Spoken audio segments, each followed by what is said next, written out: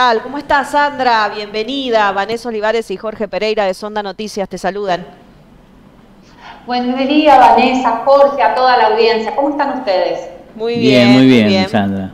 Eh, contentos de tomar contacto con vos, Sandra, en, este nuevo cargo que, bueno, ya hace tiempo asumiste, pero ahora tenemos el, la posibilidad de conversar con ella, sí. conversar, exactamente. Sí, no, bueno, sí, la verdad que llevábamos un tiempo sin comunicarnos, pero bueno, este, acá nuevamente y trabajando mucho y muy contenta de estar en donde estoy ahora, realmente disfrutándolo mucho a pesar de este año tan raro y tan difícil que nos está tocando.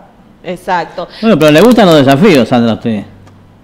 Eh, sí, ¿O no? y, este, y este, la verdad, la verdad, que ha sido un desafío, ¿no? Eh, está haciéndolo, pero estoy rodeada de un buen equipo, este, con muchas ganas y bueno, y como digo siempre, eh, por algo suceden las cosas y esto sucedió este, en un momento lindísimo de mi vida y la verdad que lo estoy disfrutando un montón.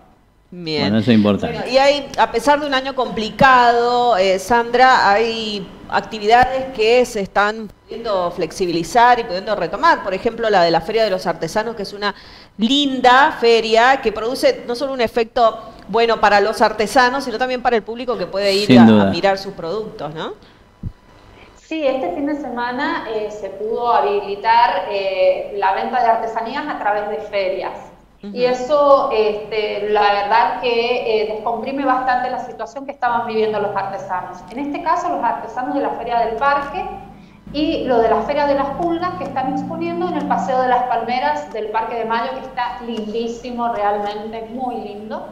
Y en la Feria de un llamado. Este, sí. Con eso nosotros eh, hemos podido dar inicio eh, a unos 100 artesanos este fin de semana y hoy tenemos 56 en la Plaza La Frida que van a estar miércoles, jueves y viernes, todos los miércoles, jueves y viernes ofreciendo también sus productos. Eh, esta es una feria de economía popular, o sea que además de tener artesanías, tiene todo lo que es herraje, tiene este, también lo que es madera, ropita para bebé, para mascotas y todo lo demás. Así que esperemos que los sanjuaninos nos acompañen en esta propuesta y acompañen a los emprendedores y artesanos. Bien, en la peatonal también han, vuelto los que estaban sobre eh, calle Tucumán. Eh, no, los de la ah. peatonal todavía, esa modalidad no está liberada.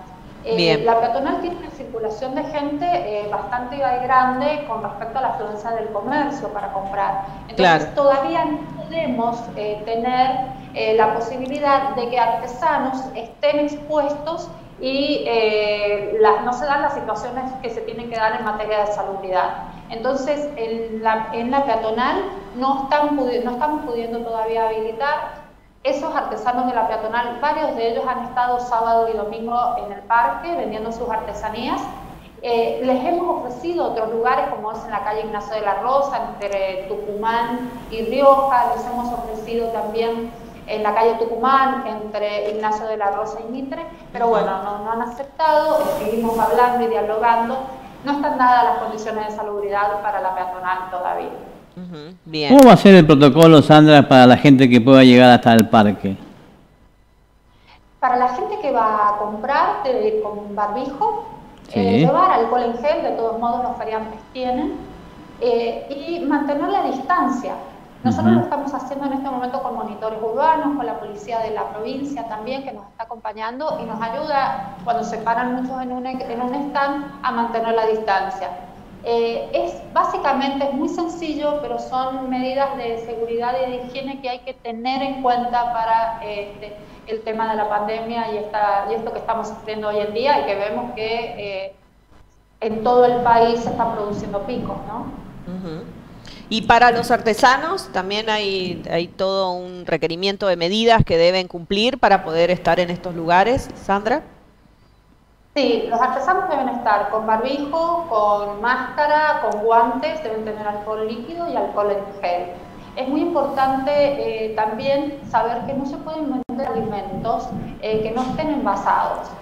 Eh, por una cuestión también de higiene, porque si alguien estornudó o cualquier problema con salivas y demás. Entonces, tampoco se permite la venta de alimentos que no estén previamente envasados. Nosotros en el Paseo de las Palmeras tenemos un helado tailandés que se fabrica en el mismo momento y que está herméticamente en la heladera sellada y este, maicenitas y chocolates que están también previamente envasadas. La verdad que hemos tenido una respuesta muy linda de la gente. Eh, han habido artesanos que el domingo se quedaron sin mercadería, cosa que nos puso realmente muy contentos. Sí, ¿no?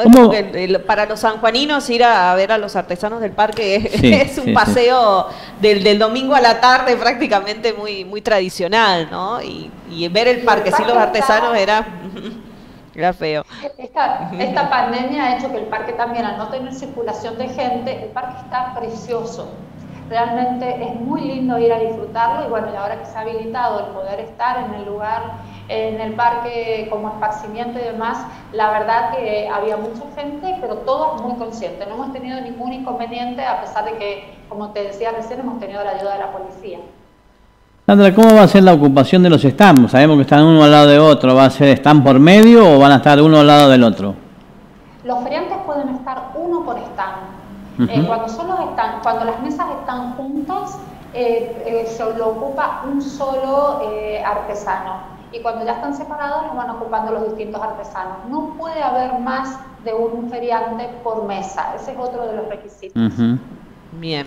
Eh, Sandra, ¿y cómo van trabajando ustedes con otras facetas de la cultura también en Capital? Por ejemplo, algo, algunos espectáculos que había en plazas u otras actividades. ¿Esto todavía no falta para implementarlo? ¿Cómo van ustedes acomodando, digamos, las actividades culturales? Un año atípico total.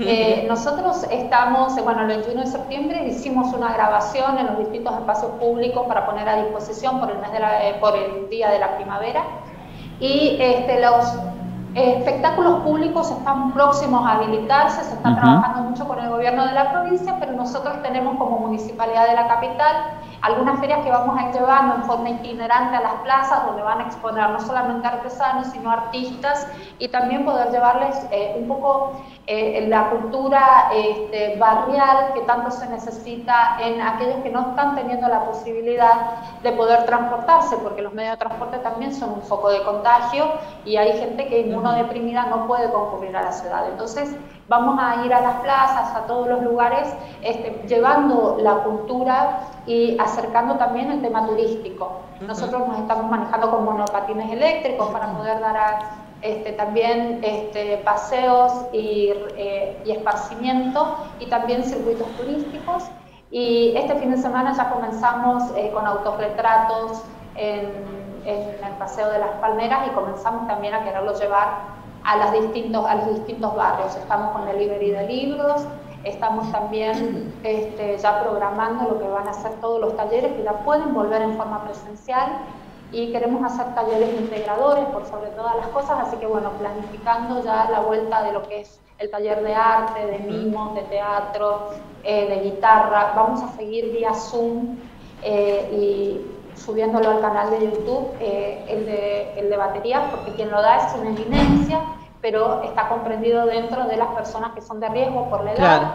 Pero el profesor Soria este, es, la verdad, uno de los talleristas que más convoca, así que eso lo vamos a seguir haciendo a través del Cine Teatro Municipal.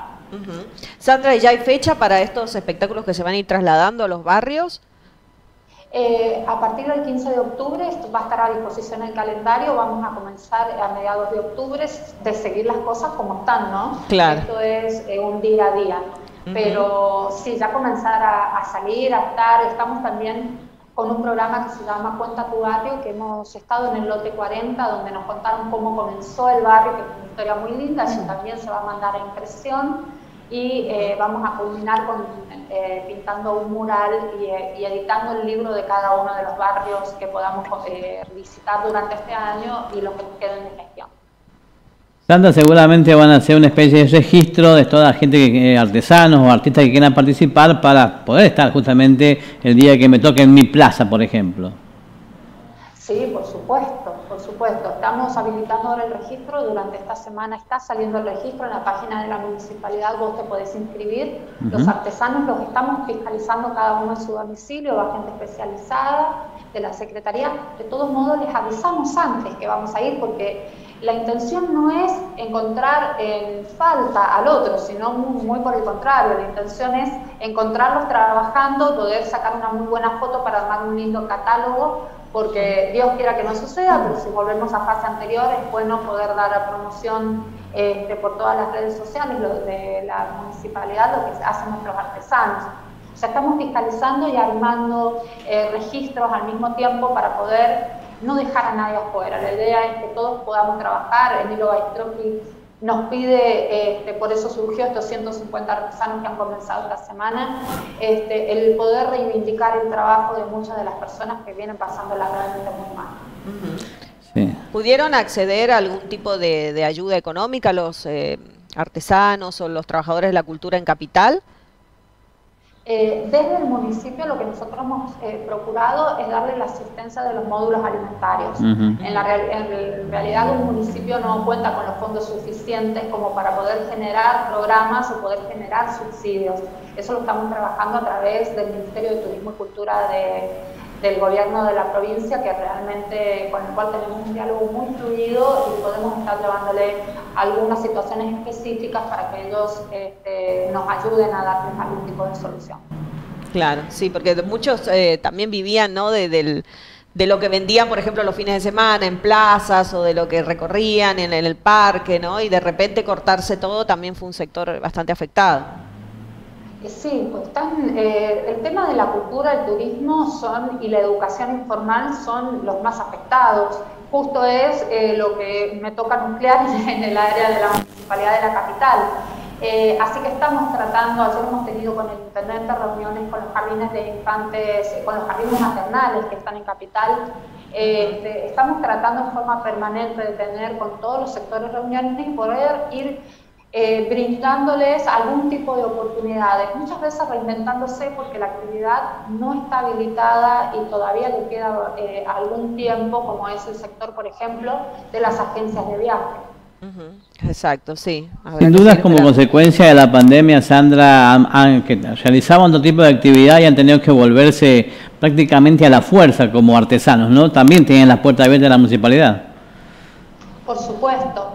Eh, mucha gente se ha, eh, en esto de reconvertirse, eligió la artesanía, eligió la forma de, la modalidad de comidas, de, hacer ropa. Entonces, ayer justamente el intendente hablaba con, las, eh, con los jardines maternales de la posibilidad de que ellas también se reconviertan por un tiempo, pero no puede ser una actividad en donde requieras también muchas habilitaciones como es la actividad gastronómica. Eh, porque no te dan los tiempos, porque necesitas pagar un alquiler y necesitas tener un local adecuado para, eh, para darle las condiciones también de salubridad a quienes vayan, en todo sentido. Entonces, eh, bueno, tratando de, en cierta forma, de mentorear, entre comillas, a muchos aquellos que tienen la obligación, por obligación, reconvertirse hasta que esto pase, porque eh, realmente es muy difícil también pensar en cuántas mamás van a llevar ahora a sus chiquitos a un lugar cerrado, pero si nosotros habilitamos espacios abiertos como plazas y demás, a lo mejor a través de una buena burbuja pueden los chiquitos estar compartiendo eh, algo tan necesario como es el aire libre, algún tipo de recreación, ¿no? Exacto, sí, sí, ahí ahora también, bueno, esto se ha habilitado en las plazas, ¿no? Pero qué lindo que también si uno va a una plaza pueda disfrutar de, algún espectáculo, de alguna exposición, siempre también nosotros portando nuestro granito de arena de cuidarnos entre todos, ¿no, Sandra? Esto está muy próximo, eso está muy próximo, creo que estamos hablando de que 10 días más lo podemos eh, llegar a, hacer, así que sí, la idea es que Juan es tan lindo en otoño como en primavera, que realmente dan ganas de salir en las tardes a disfrutar de todo eso y bueno, eh, aparentemente en unos días vamos a poder estar ofreciendo ese tipo de espectáculos y ahí estará Capital tratando de brindar lo mejor este, para todos los capitalinos y todos los que nos visitan de otros departamentos. Bien. Bueno, Sandra, muchísimas gracias por atendernos y tener este contacto mediante la tecnología que también nos facilita, ¿no? Sí. también ha sido... Es otra forma. Exacto, una gran herramienta en estos tiempos de pandemia. Bueno, muchísimas gracias. Muchísimas gracias por atendernos. No, muchísimas gracias a ustedes como siempre. Eh, estamos a disposición, dependemos muchísimo de la difusión que se le dé a, nuestros, a, nuestras actividades, así que siempre a disposición. Muchas gracias y que tengan buen fin de semana y que nos visiten en las propuestas que les hemos comentado recién. Bien, bueno, muchas gracias Sandra, hasta luego. No, gracias a ustedes, que estén muy bien, hasta luego. Sandra Barceló, secretaria de Cultura de Capital, hablando de este regreso de los artesanos este fin de semana que... La verdad es que le dan un toque y un color distinto al parque.